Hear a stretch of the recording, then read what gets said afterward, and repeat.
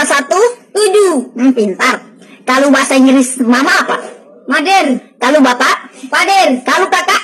Kader. Kalau adik? Ader. Kalau tete? Teder. Kalau nenek? Neder. Kalau keluarga? Kalender.